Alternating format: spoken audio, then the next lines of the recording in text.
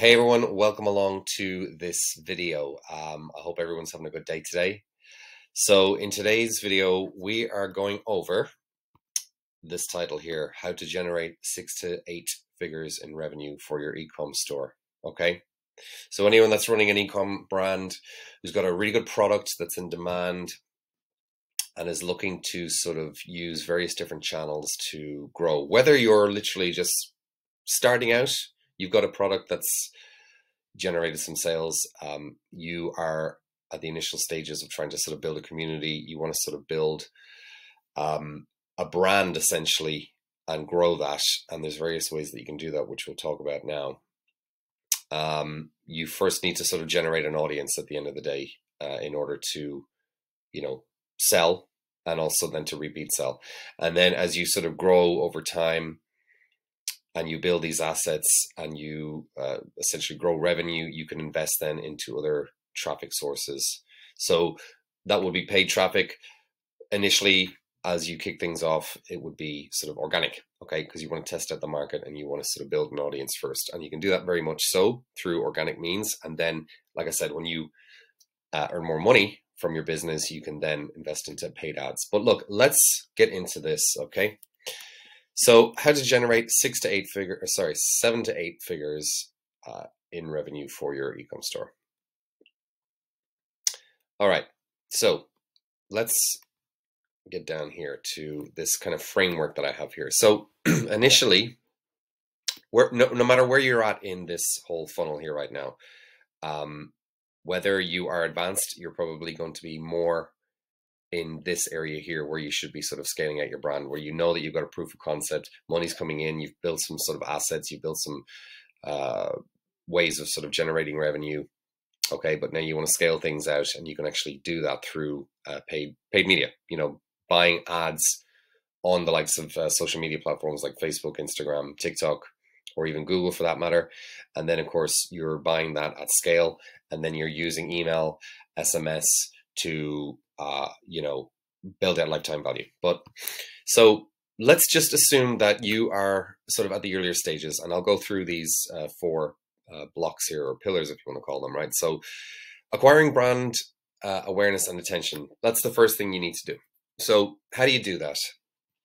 Well, what we do for clients, okay, is we actually help them build out uh, an initial community, okay?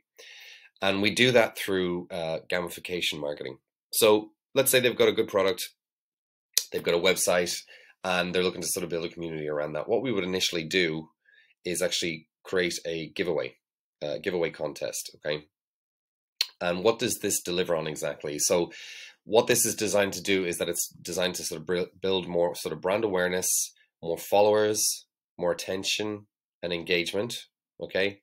More sales of your product, more user generated content and more email subscribers. So what happens here is that you're building out a community, you're building out a following essentially, uh, whether that's email list or whether that's through your social media accounts. Okay, and definitely gamification when done right is is an awesome way to actually grow your brand.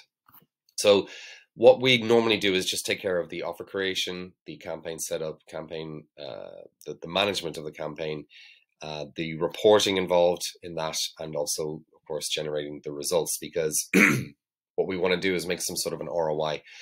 But we're doing multiple things here. We're generating some some sales, but we're also actually building out a community, which is highly important at this point. Okay, so another way of acquiring brand awareness and attention is by essentially looking at influencer marketing. Okay, if you can find five to ten really good influencers that you sort of build a relationship with and you can sort of do rev share deals where they expose your brand they build up some hype uh, through their stories reels all that kind of good stuff. So you're partnering essentially. And you are at this point just trying to get them to uh, use their leverage their sort of uh, trust and authority on their audience where you can actually go and uh, partner up and they will talk about your product and the benefits of it and what it does and why it's a good why it's good in the marketplace that kind of thing. And they'll promote that to your to their to their uh, audience on a, on a campaign. And just do a rev share deal essentially. This is what i would do. Rev share deal and what you want to be thinking about at the end of the day is like even if you're not even sort of generating profit here the point is that you're generating customers okay? And at the end of the day it's not just the one time sale but you want to be using sort of repeat purchasing um, through email then to actually you know build that lifetime value and profit so Uh, influencer marketing, it's great. It delivers on brand awareness. Uh, more of that, of course. More followers, more attention, engagement, more sales, and more user generated content. Very much like gamification in a way. Okay. But it's a very good way to acquire attention. Um, if, uh, again, if you're if you're to work with us, what we do with clients is that we actually have a network of people, uh, influencers, um, in various different sort of verticals, and we would tap into that and be able to sort of match you with a good influencer.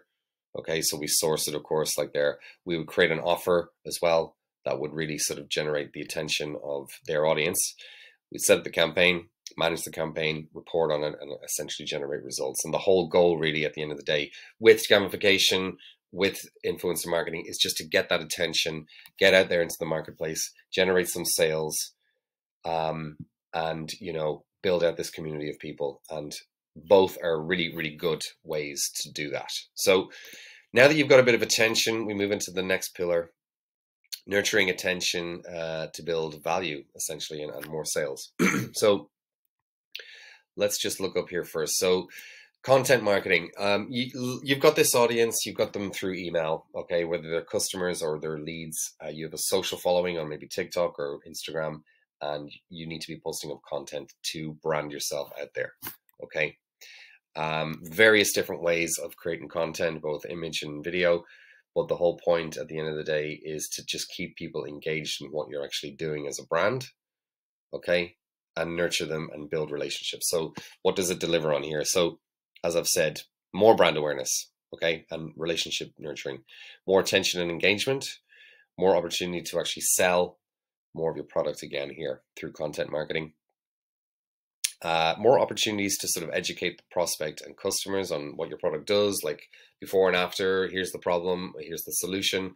This is what the product does, um, and also gives you an opportunity to sort of understand your prospects and customers a bit better as well, because you can you can do that through content. So normally, what we do in in terms of taking care of things for brands is that we'd uh, essentially kind of work on content direction and sort of ideas for people okay that are content can be quite a time consuming uh, thing to do but also to think about stuff you need to sort of put out there as well it's quite time consuming so it's actually handy to have somebody that knows have done this before and you have sort of content in place that you can build out authority and educate people and nurture people at the same time. So you'd also need to sort of create some sort of like a content calendar where um, every sort of day or every couple of days you're releasing something into uh, your your ecosystem for people to sort of um, nurture on okay? So yeah that is essentially it for content marketing. You need to have a sort of a, a draft in place. Another way of actually publishing content and getting it out there uh, kind of a way of sort of building out more value and and of course nurturing is to sort of use your email list and Facebook groups. So again, these two combined, again, very much similar to what gamification does and sort of influencer marketing. Uh, it just it delivers more brand awareness and again is a way of nurturing relationships. Okay, more attention, more sales, customer research and product development is another uh, uh, sort of advantage of having kind of platforms like this, where you can go onto Facebook group and you can create a post basically that sort of asks people, well, how can we do better here? Um, what can we do to improve the product? And people who are sort of advocates of what you guys do will, you know, tell, you know, what what what what their thoughts are. They'll give you ideas, and you can actually make your product better. So it's great to. That's why that's why building a brand and getting this attention and having these assets is so important, especially in the beginning, because it gives you that sort of um, customer intelligence. Okay.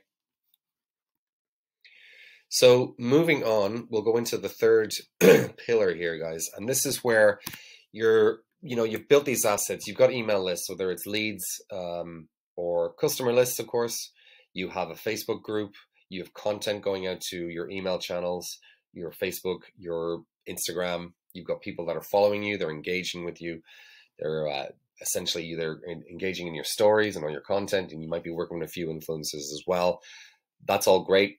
Um, you're generating some good money here at this point, but how are you going to scale these things out profitably? And that is where paid media comes into place. Um, and I'm talking about the likes of Meta, Facebook, Instagram, TikTok, Google, Google's traffic uh, network. It's not just search, shopping, but they actually have display network, which is a huge, huge uh, source of uh, inventory on ads. So highly recommended there. They're the tier one sort of traffic platforms that we would normally work with. So what is the advantage or why go through paid media? Well, it's it's a quicker uh, way of scaling out your brand. I mean, you you know, you there's only so much you can do in terms of doing gamification and influencer marketing, but if you're doing these in combination then with this as well, it's just going to build out things even more so. Like even when you're very very successful as a brand, I still think you should be doing some influencer marketing because you're finding new influencers in the market to work with, which are maybe when you were starting out in the beginning were smaller uh, influencers, but now you can actually tap into larger audiences because you've just got that authority and credibility. And gamification too is something you could always be doing as well to keep people engaged on your social medias, um, on your email lists, and just ways of actually just generating campaigns where you're generating uh, sales. Okay. Um, but yeah, it's just there, there's so much noise out in the internet that you have to find creative ways to keep people engaged and you want to be top of mind when somebody is looking for a solution to a problem that they have and they think of you first because they've seen you so much on social media they've engaged with your brand and that's why i love gamification because there's so many creative ways that you can do uh, be engaging in that sense. So anyway back to paid media. Uh, it's going to give you more brand awareness it's going to give you more reach okay for audiences obviously that is going to entail then when you've got really good ads and creatives that are garnering attention it just means that it's going to generate more clicks okay? Which is going to lead more clicks down an already uh, converting sales funnel that you have on your website okay? And it's predictable consistent and when done right profitable as well uh, in terms of customer acquisition okay? So if you were needing help with something like this and we actually can do that for you. This is one of the things that we do also as well, which is paid media. and again, this is only for when you're at a certain level where you you have money to invest into ads because it is going to take money to invest into ads, whether you are in that position or not. You probably know. And it takes a little time to sort of get going. But the great thing is that you've built all these assets. Like you have user generated content, you have email lists to leverage off, you've brand awareness, you've got like social followings, you've got all this great uh, all these great assets here to now uh, use in conjunction with paid media. Okay, so we would take care of like the creating uh, offers. Highly important that you're creating offers, and I'm not just talking about like a 10% discount. There are various ways to create really attractive offers, and that can be done sort of seasonally as well. You can kind of latch onto like today is the 25th of September. Um, we're coming into quarter four, and there's various uh, opportunities, shall we say, to to uh, to uh, use to um, you know acquire more attention, but also to acquire more sales. Black Friday, Christmas, Halloween, that kind of thing. So we would essentially, um, yeah, manage the campaign as well. We would give creative direction, um, and if need be, creative design. We do the ad copy, the audience targeting, uh, consulting on the actual sales funnel as well. So it's not just the ads. The ad gets attention which is great and it gets the click. But can we improve the average order value? Can we improve the conversion rate to actually get more uh, ROI essentially on the money that we're spending in terms of uh, acquiring customer? So yeah, we we do that. Great way to scale things out. So you're at this point here right now, like I said, you've all these assets uh, working for you here right now email, paid media, probably paid media on a couple of different traffic sources. Okay. You want to be scaling out from one uh, traffic source, for example. I would really sort of hammer home, say, on the likes of Facebook before you sort of start moving into Google. Okay. But you have, you have, uh, you're acquiring customers uh, at bare minimum um, break even if not profitable. We're we always uh, we always can deliver results where we generate uh, customers profitably on the ads. Okay, so that's really really good. And of course, you have this system in place. You're you're doing your influencer marketing. You're doing your gamification. You're pushing out content. All these assets are just nurturing, building brand. Okay, and making you more authoritative, improving your product, improving future products, future products uh, ideas that your customers are getting because you have these assets, because you're asking these questions on email, you're able to communicate, or Facebook, even for that matter, or even in a story. Okay. So you are moving forward, you're getting a lot more customers into your back end, which is where the real profits sort of uh, lie, guys. And this is where email and SMS uh, consumer or customer retention comes into place. Okay. So here, essentially this is something that we also look after here but what does this deliver on? It delivers more sales uh, and you know repeat purchasing at a lower cost conversion right? So email is a lot cheaper to make a conversion on and there's reason for that is because people have already gone through your sales funnel and if they liked uh, the journey of going through your sales funnel as in like knowing about your brand getting educated purchasing going through your website all that kind of good stuff. If they like, if they're getting desired end results from the product, okay, and they have something, you have something else to offer, which is going to enhance that experience, they're going to purchase from you again. And uh, sending out emails and acquiring customers is a lot cheaper than, uh, you know, paid media. Okay, I mean you can use paid media to to to repeat sell as well, but email marketing is definitely something that's you can use, which is a hell of a lot cheaper in terms of acquiring customers and that's where you build out lifetime value and profit. So that's what it delivers on. Like I said, more brand awareness, uh, relationship nurturing, more profits uh, on lifetime value, cheaper to convert customers or already existing customers. Okay. Um, and there's very creative ways too, guys, that you can actually use email in the sense of like you can segment people based on those who have not purchased and you can be creative in, in, in ways and how you communicate to actually convert them Maybe you'd have like a really irresistible offer where you get them on the fence and they purchase. Then you have your customers, and then you have your customers that are purchasing from you a lot, like your high end uh, value customers. And there's various different ways that you can get them to either purchase more, refer people, okay, because they're your brand advocates. They'll go out there. You can have a, a program where you've got a, a, let's say, an affiliate program where they'd actually buy. There's some very creative uh, applications for for Shopify, for example, but customers who actually purchase, they can actually uh, generate um, commission if they refer other people. Okay, so they're your brand advocates. You can communicate things like that to acquire more customers.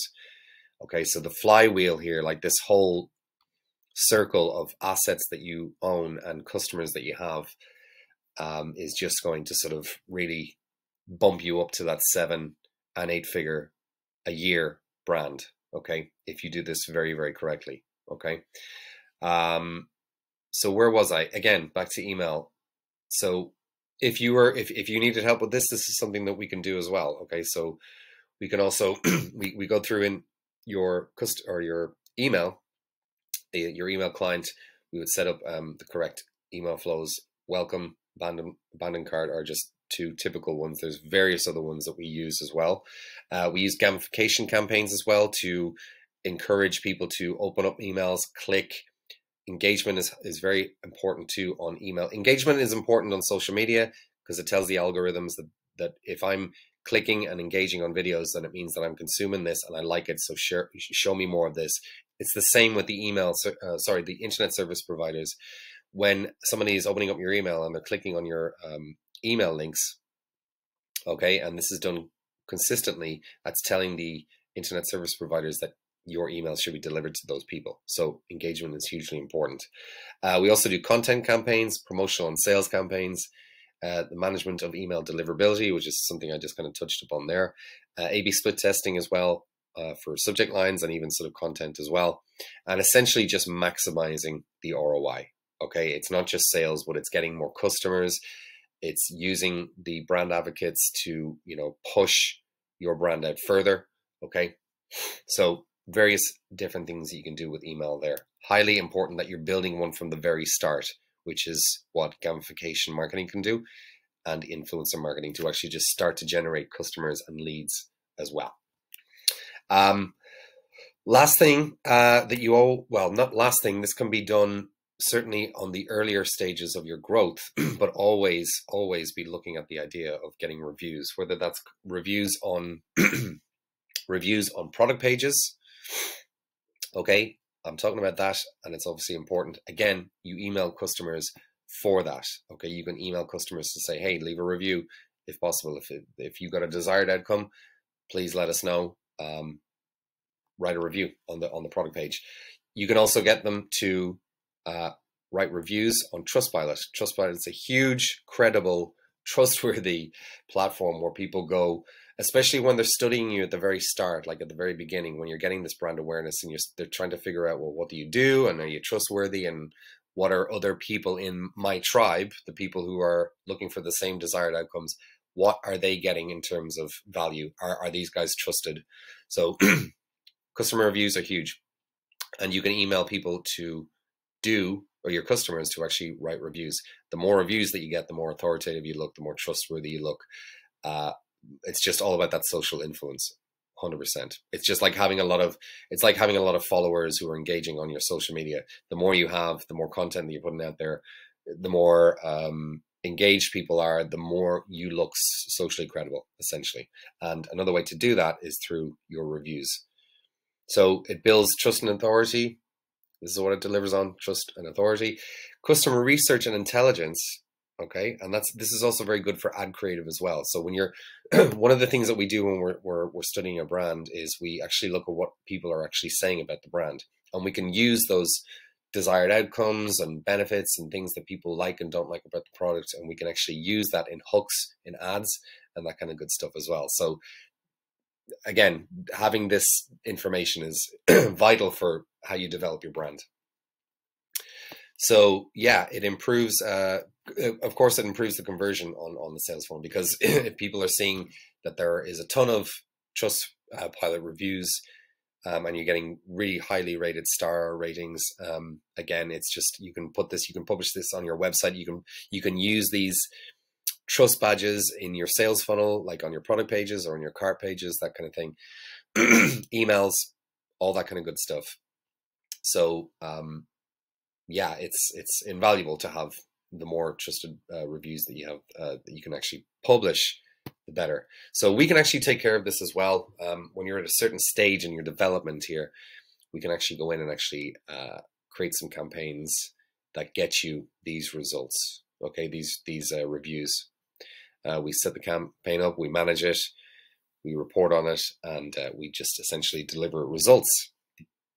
So that is it, guys. That is how you build your brand. I mean, uh, even essentially from your first four and five figures into six figures, okay, into seven, and potentially if you have the scope for it, if you have the scale, the possibility to do so, you could be even hitting the eight figure um, mark.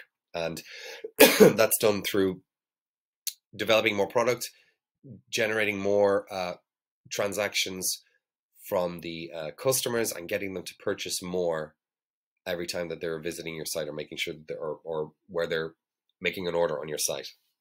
And then, are there ways that we can actually not just target your geolocation, but is there various geolocations around the world that actually we can sell product to?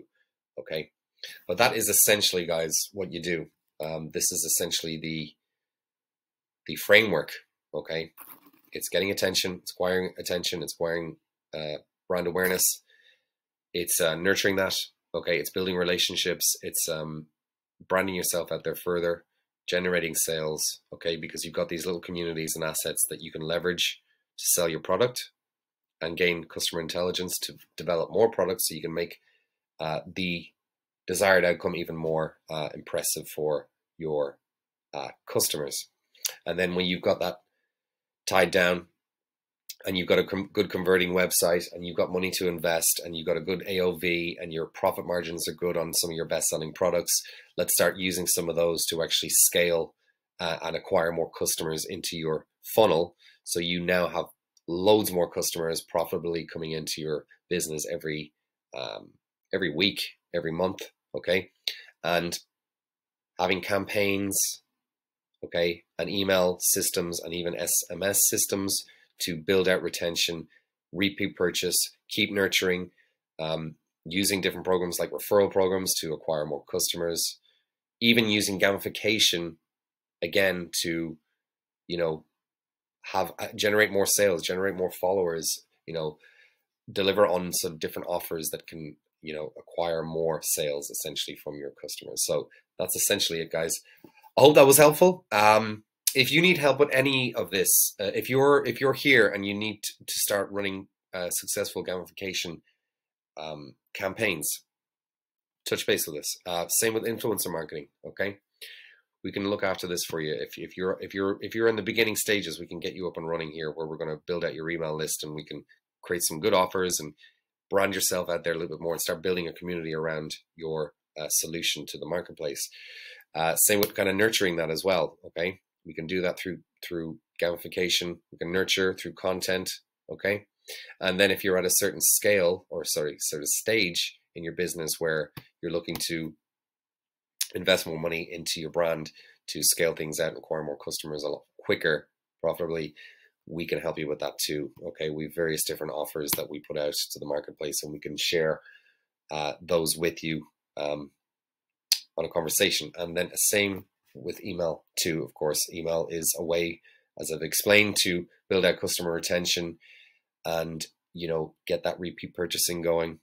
Okay, build out that lifetime value, build out those profits, get yourself to a brand where you know you're doing multiple six, seven, possibly eight figures a year. Okay. Thanks, guys. Appreciate your attention. Hope that was valuable today. And like I said, if you need any help with this, please get in touch. Have a great evening. Talk soon. Bye bye.